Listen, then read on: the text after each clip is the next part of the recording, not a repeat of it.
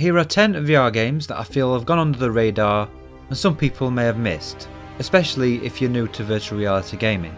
Starting with the Solus Project, this is a non-VR game that has a VR mode, so there are certain things like you can't pick things up with your hands and you need to use a laser pointer, but the sense of scale and atmosphere of this game is incredible. It's available on Steam for all PC VR headsets and PlayStation VR. It's currently $20 and goes on sale often. It's a survival adventure game, so no combat, but you do have dangers in the world like traps in the cave sections and environmental hazards like meteor strikes, tornadoes and lightning storms. I do have a full review on my channel if you want more information. Next we have Transference. This was made by SpectreVision and published by Ubisoft. It's a psychological thriller with fantastic graphics and a great atmosphere. It's available for PC VR, PlayStation VR and is $25. I recommend waiting for a sale as it's only around 2 hours long, but it's something that shouldn't be missed and again I do have a review on the channel if you want more information.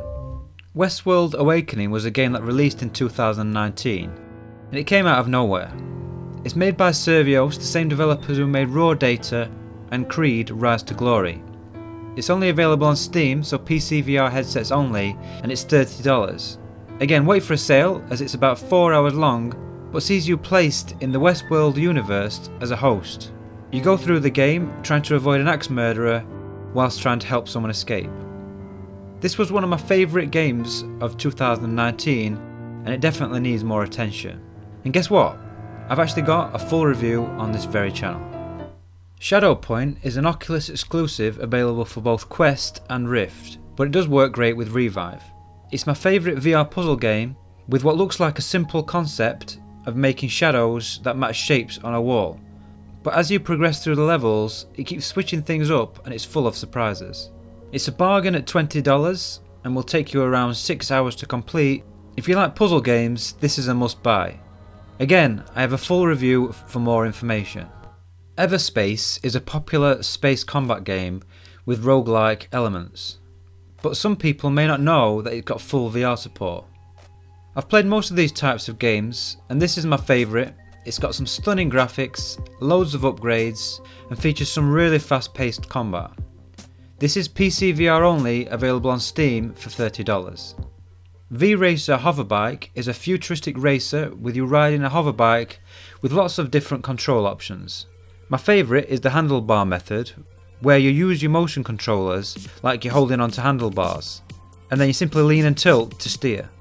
It's got loads of tracks, great graphics, and is fast paced fun.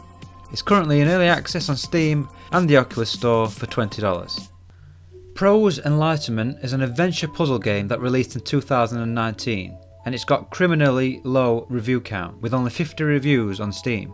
I really enjoyed this game, it's got a good story and it's got some great atmosphere.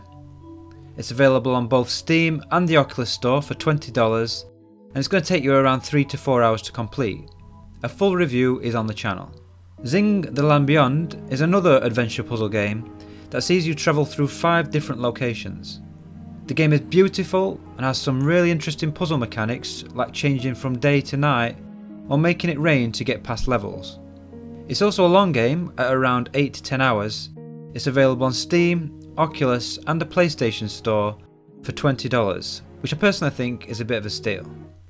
If you like dinosaurs, then you need to check out Robinson the Journey.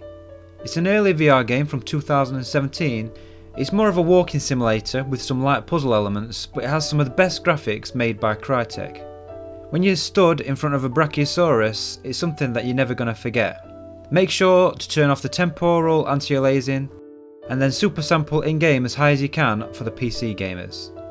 It's available on the Oculus Store, Steam and PlayStation VR at $20, and it'll take you around 5 to 6 hours to play through. A non-VR game from 2018 called Grip Combat Evolved recently got VR support, and I don't see many people talking about it. If you're looking for a fully fleshed out futuristic combat racer with a single player campaign and an active multiplayer community, you should check this out. You need to have a strong stomach as you're literally driving up walls and upside down and it can get a little disorientating at times, but I've been having an absolute blast playing this one. It's available on Steam for $30, but I bought it recently on a sale for $10, so add it to your wish list and keep an eye out. A couple of bonus games. First, we've got Alien Isolation. Some people might not know that you can actually play Alien Isolation with a mod called Mother VR. It doesn't have motion control support, other than using the motion controllers as a gamepad, but it's still great to be able to play a AAA game in VR, and the atmosphere in this game is incredible and it looks stunning. Lastly, another VR mod, this time it's for Doom 3 BFG, which you can pick up really cheap. The mod is called Fully Possessed, and it's got full room scale and motion control support. It's an old game so it looks a little dated, but it's still loads of fun. And that's it. If you've got any other games you want to recommend, then let me know in the comments section below.